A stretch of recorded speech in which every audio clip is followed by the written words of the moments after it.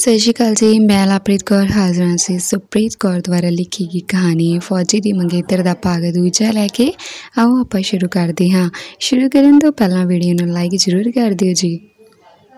ਸੂਰਜ ਕਾਫੀ ਥੱਲੇ ਰਹਿ ਚੁੱਕਾ ਸੀ। ਡੁੱਬ ਰਹੇ ਸੂਰਜ ਸੀ ਲਾਲੀ ਘਰ ਕਰਦੀ ਬਨੇਰਿਆਂ ਤੇ ਲਾਪਾ ਮਾਰ ਰਹੀ ਸੀ। ਉਸ ਰਾਤ ਉਹ ਫੌਜੀ ਬਾਰੇ ਸੋਚਦੀ ਰਹੀ। ਫੌਜੀ ਦੀ ਗੱਲ ਕਹਿੰਦਾ ਅੰਦਾਜ਼ਾ ਹੀ ਵੱਖਰਾ ਸੀ। ਸਹੇਲੀ ਦਾ ਜਾਂ ਫੌਜੀ ਦਾ ਵਿਛੋੜਾ ਥੋੜੇ ਸਮੇਂ ਦਾ ਸੀ, ਪਰ ਇਸ ਗੱਲ ਨੇ ਮਨਪ੍ਰੀਤ ਦੀ ਨੀਂਦ ਉਡਾ ਦਿੱਤੀ ਸੀ। ਮਨਦੀਪ ਨੇ ਮਨਪ੍ਰੀਤ ਦੇ ਦਿਲ ਵਿੱਚ ਪਿਆਰ ਦੀ ਇੱਕ ਚਿੰਗਾਰੀ ਚਲਾ ਦਿੱਤੀ ਸੀ। ਪਰ ਮਨਪ੍ਰੀਤ ਇਸ ਗੱਲ ਨੂੰ ਨਕਾਰ ਰਹੀ ਸੀ, ਕਿਉਂਕਿ ਇਹ ਚਿੰਗਾਰੀ ਅੱਗੇ ਜਾ ਕੇ ਉਸ ਨੂੰ ਤਕਲੀਫ ਦੇ ਸਕਦੀ ਸੀ।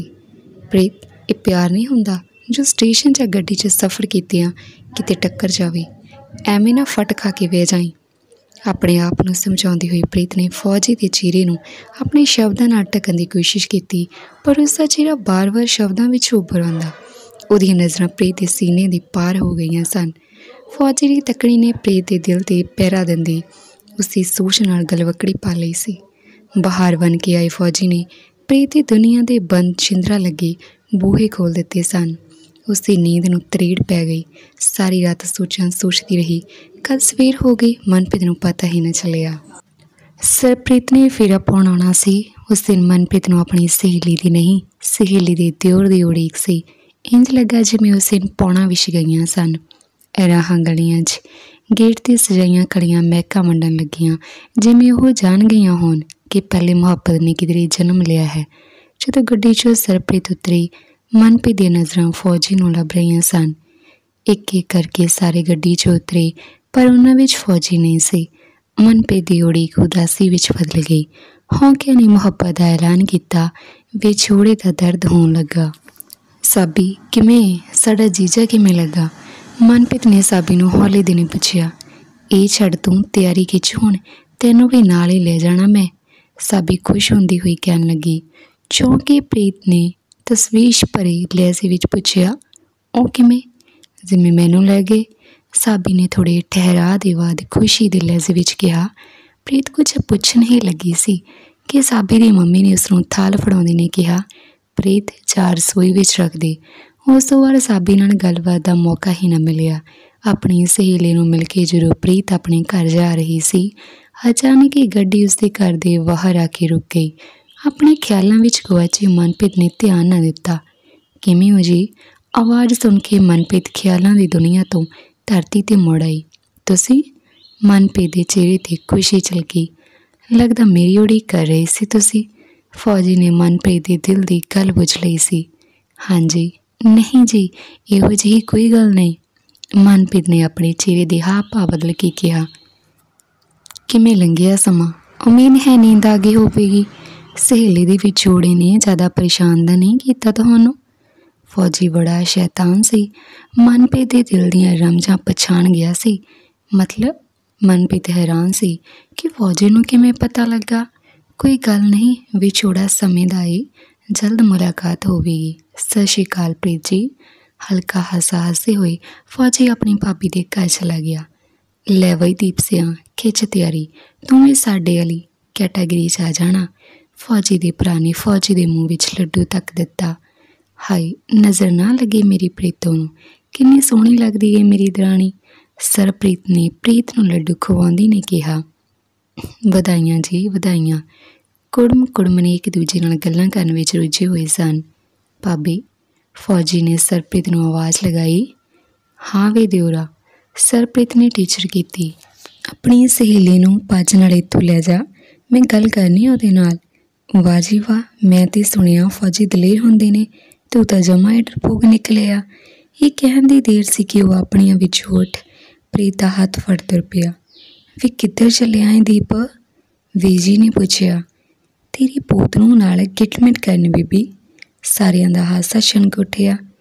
ਦੀਪ ਪ੍ਰੀਤ ਨੂੰ ਲੈ ਕੇ ਗੱਡੀ ਕੋਲ ਜਾ ਖਲੋਇਆ। ਕਿੰਨਾ ਚਿਰ ਉਹ ਪ੍ਰੀਤ ਨੂੰ ਤੱਕਦਾ ਰਿਹਾ। ਸ਼ੂਰ ਅੱਖ ਨਾਲ ਪ੍ਰੀਤ ਨੇ ਫੌਜੀ ਨੂੰ ਤੱਕਿਆ।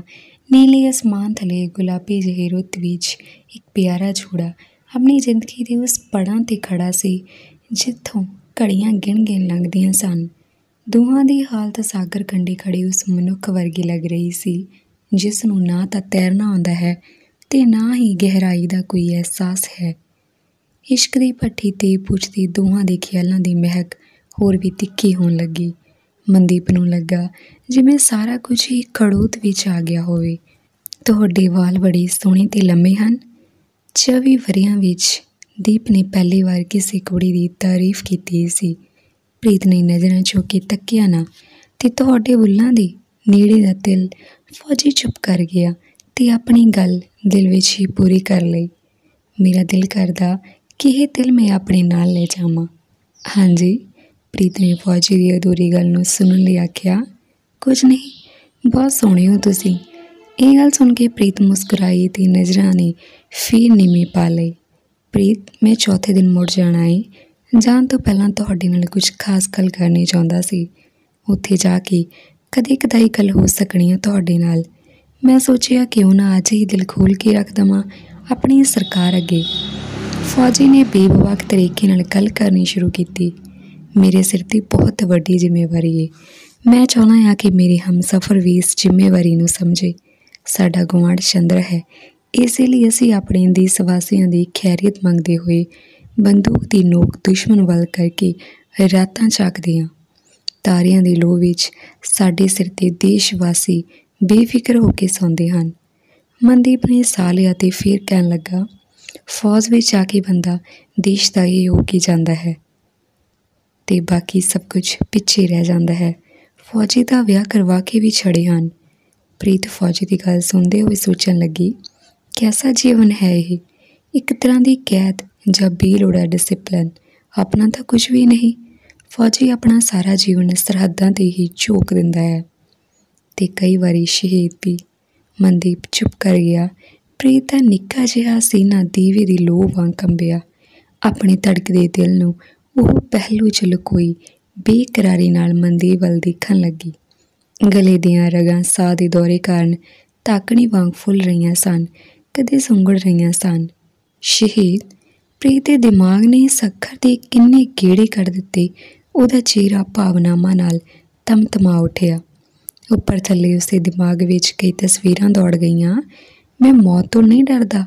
ਉਹ ਇੱਕ ਨਾ ਇੱਕ ਦਿਨ ਆਉਣੀ ਆ, ਪਰ ਕਿਵੇਂ, ਕਿੱਥੇ ਤੇ ਕਦੋਂ? ਇਹ ਮੇਰਾ ਵਾਹਿਗੁਰੂ ਜਾਣਦਾ ਏ।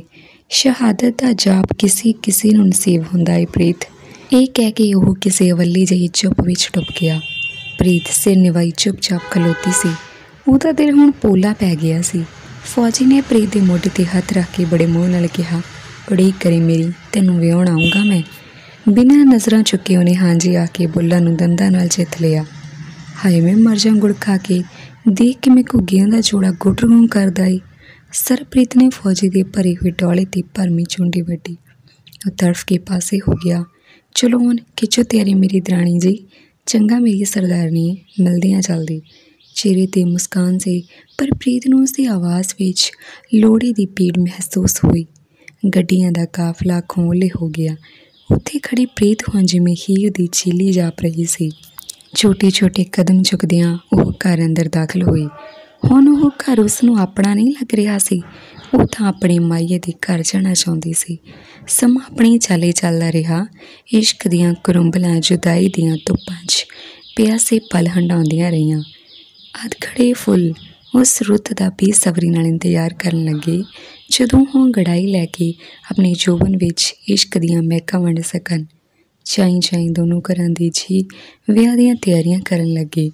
ਮਨਪ੍ਰੀਤ ਰੋਜ਼ ਸੱਚੀ ਮੁਹੱਬਤ ਦੇ ਚਿਰਾਗ ਵਾਲਦੀ ਤੇ ਆਪਣੇ ਦੀਪ ਦੀ ਚੜ੍ਹਦੀ ਕਲਾ ਦੀ ਅਰਦਾਸ ਕਰਦੀ ਰਹਿੰਦੀ। ਦੇਖਦੇ ਹੀ ਦੇਖਦੇ ਮਾਰਚ ਚੜ ਗਿਆ।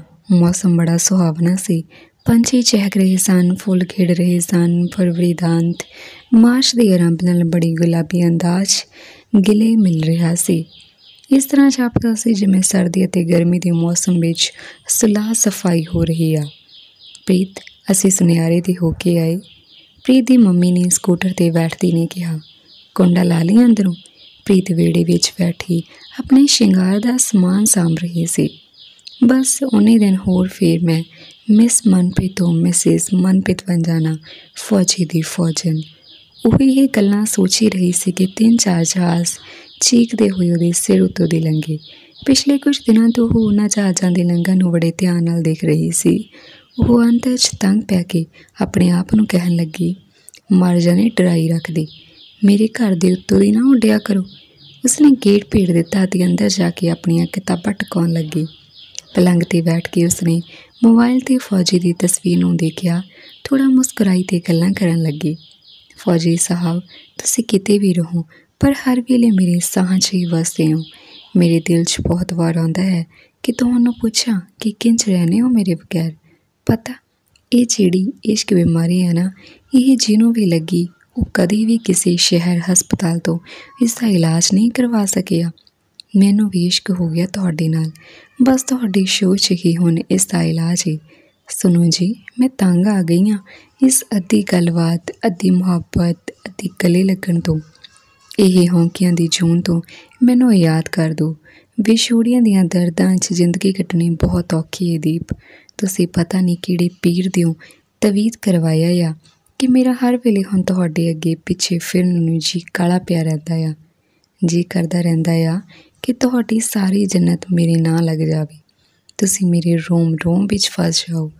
ਇੰਨੇ ਨੂੰ ਗੇਟ ਤੇ ਖੜਾ ਹੋਇਆ ਸਰਪ੍ਰੀਤ ਦੀ ਮੰਮੀ ਖੜੀ ਸੀ। ਆਂਟੀ ਜੀ, ਸਤਿ ਸ਼੍ਰੀ ਅਕਾਲ। ਆਜੋ ਲੰਘਾ ਉਹ ਅੰਦਰ। ਪ੍ਰੀਤ ਤੇਰੀ ਮੰਮੀ ਕਿੱਥੇ ਆ? ਉਹ ਥੋੜਾ ਘਬਰਾ ਕੇ ਬੋਲੀ ਉਹ ਸੁਨਿਆਰੇ ਦੇ ਗਏ ਹਨ। ਕੀ ਹੋਇਆ? ਸਭ ਠੀਕ ਹੈ ਆਂਟੀ ਜੀ? ਤੁਸੀਂ ਇੰਨੇ ਘਬਰਾਏ ਹੋਏ ਕਿਉਂ? ਤੂੰ ਖਬਰਾਂ ਸੁਣੀਆਂ? ਨਹੀਂ। ਕਿਉਂ ਕੀ ਹੋਇਆ? ਸੁਣ ਫਿਰ। ਪ੍ਰੀ ਦੌੜ ਕੇ ਅੰਦਰ ਆਈ। ਤੇਜ਼ੀ ਨਾਲ ਟੈਲੀਵਿਜ਼ਨ ਚਾਲੂ ਕੀਤਾ, ਖਬਰਾਂ ਵਾਲਾ ਚੈਨਲ ਲਾਇਆ। ਰਿਪੋਰਟਰ ਪਥਰੀਲੀ ਜ਼ਮੀਨ ਤੇ ਖੜਾ ਸਾਹੋ ਸਾਹੀ ਖਬਰ ਸੁਣਾ ਰਿਹਾ ਸੀ। ਕਸ਼ਮੀਰ 'ਚ ਬੀਤੇ ਦਿਨੀ ਦੇਰ ਸ਼ਾਮ ਫੌਜੀ ਜਵਾਨਾਂ ਨੂੰ ਨਿਸ਼ਾਨਾ ਬਣਾ ਕੇ ਕੀਤੇ ਗਏ ਹਮਲੇ 'ਚ ਹੁਣ ਤੱਕ 40 ਦੇ ਕਰੀਬ ਜਵਾਨ ਸ਼ਹੀਦ ਹੋ ਚੁੱਕੇ ਹਨ। ਕਈ ਜਵਾਨ ਹਲੇ ਵੀ ਜੇਰੇ ਇਲਾਜ ਹਨ, ਪਰ ਇਸੇ ਦੌਰਾਨ ਹੀ ਖਬਰ ਆਈ ਆ ਕਿ ਅਤਵਾਦੀਆਂ ਨੇ ਇੱਕ ਵਾਰ ਫਿਰ ਜੰਮੂ ਕਸ਼ਮੀਰ 'ਚ ਦੂਸਰਾ ਹਮਲਾ ਕਰਦੇ ਹੋਏ ਫੌਜੀ ਬੱਸ ਨੂੰ ਨਿਸ਼ਾਨਾ ਬਣਾਇਆ ਹੈ। ਖਬਰ ਮੁਤਾਬਕ ਇਤੇ ਕੁਝ ਅਤਵਾਦੀਆਂ ਨੇ ਫੌਜੀ ਬੱਸ ਤੇ ਗੋਲਾਬਾਰੀ ਕੀਤੀ ਤੇ ਫਿਰ ਇੱਕ ਧਮਾਕ ਚ ਬੱਸ ਤੇ ਪਰ ਖੱਚੇ ਉੱਡ ਗਏ। ਇਸ ਬੱਸ ਵਿੱਚ 20 ਫੌਜੀ ਸ਼ਹੀਦ ਹੋਏ ਹਨ।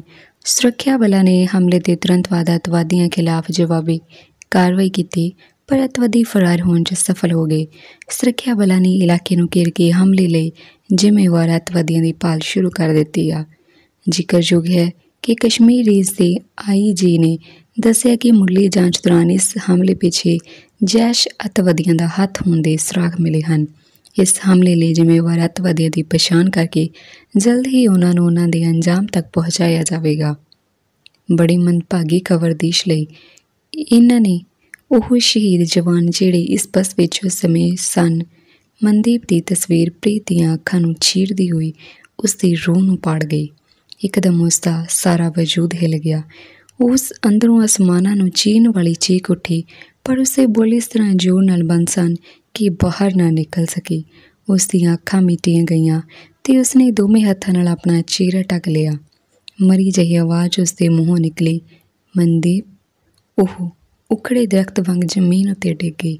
ਸ਼ਹੀਦ ਫੌਜੀ ਨੂੰ ਤਿਰੰਗੇ 'ਚ ਲਪੇਟ ਕੇ ਉਸਦੇ ਪਿੰਡ ਲਿਆਂਦਾ ਗਿਆ ਤੇ ਮਾਹੌਲ ਗਮਗੀਨ ਹੋ ਗਿਆ। ਪਰਿਵਾਰਕ ਮੈਂਬਰਾਂ ਤੋਂ ਇਲਾਵਾ ਵੱਡੀ ਗਿਣਤੀ ਵਿੱਚ ਹਜ਼ਾਰਾਂ ਲੋਕਾਂ ਨੇ ਉਸ ਨੂੰ ਸ਼ਰਧਾਂਜਲੀ ਦਿੱਤੀ। ਹਰ ਅੱਖ ਨਮ ਸੀ।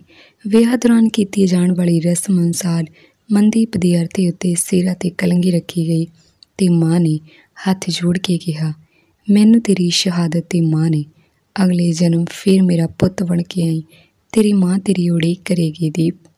ਸ਼ਹੀਦੀ ਦੀ ਨੂੰ ਸ਼ਮਸ਼ਾਨ ਘਾਟ ਵਿਖੇ ਲਿਆਂਦਾ ਗਿਆ, ਜਿੱਥੇ ਜੰਮੂ ਤੋਂ 84ਵੀਂ ਬਟਾਲੀਅਨ ਵੱਲੋਂ ਡੀਆਈਜੀ ਤੇ ਡਿਪਟੀ ਕਮਾਂਡੈਂਟ ਦੀ ਅਗਵਾਈ ਹੇਠ ਪੁੱਜੀ ਫੌਜੀ ਟੁਕੜੀ ਨੇ ਹਵਾਈ ਫਾਇਰ ਕਰਕੇ ਸ਼ਹੀਦ ਨੂੰ ਸਲਾਮੀ ਦਿੱਤੀ। ਪ੍ਰੀਤ ਉਸ ਦੀ ਸ਼ਹਾਦਤ ਨੂੰ ਸਲਾਮ ਕਰਨੋਂ ਨਾ ਰਹਿ ਸਕੀ ਤੇ ਉਸਨੇ ਪਿੰਡ ਵਿਖੇ ਪਹੁੰਚ ਕੇ ਸ਼ਹੀਦ ਮਨਦੀਪ ਨੂੰ ਸ਼ਰਧਾਂਜਲੀ ਭੇਟ ਕੀਤੀ। ਕਿੰਨਾ ਚਿਰ ਕੋਲ ਬੈਠੀ ਰੋਂਦੀ ਰਹੀ ਉਸ ਦੀਆਂ ਗੱਲਾਂ ਸੁਣ ਕੇ ਹਰ ਕੋਈ ਤਾਹਾਂ ਮਾਰ ਰੋ ਉੱਠਿਆ। ਪਤਾ ਤੁਹਾਨੂੰ ਕਿੰਨਾ ਚਾਹ ਸੀ ਮੈਨੂੰ ਤੁਹਾਡੇ ਪਿੰਡ ਨੂੰ ਵੜ ਕੇ ਆਉਣ ਦਾ। ਤੁਹਾਡੇ ਪਿੰਡ ਦੀਆਂ ਗਲੀਆਂ ਤੇ ਘਰ ਦੇ ਵਿਹੜੇ ਵਿੱਚੋਂ ਤੁਹਾਡੇ ਬਚਪਨ, ਜਵਾਨੀ ਤੇ ਹੁਣ ਤੱਕ ਦੀਆਂ ਯਾਦਾਂ ਨੂੰ ਮੰਨਣ ਦਾ। ਪਤਾ ਮੈਨੂੰ ਕਿੰਨਾ ਚਾਹ ਸੀ ਤੁਹਾਡੀ ਫੌਜਨ ਕਹਾਉਣ ਦਾ। ਮੈਂ ਜਮਾ ਵੀ ਨਹੀਂ ਰੋਈ ਜਦੋਂ ਤੁਹਾਡੇ ਪਿੰਡ ਦੀ ਜੂ ਵੜੀ।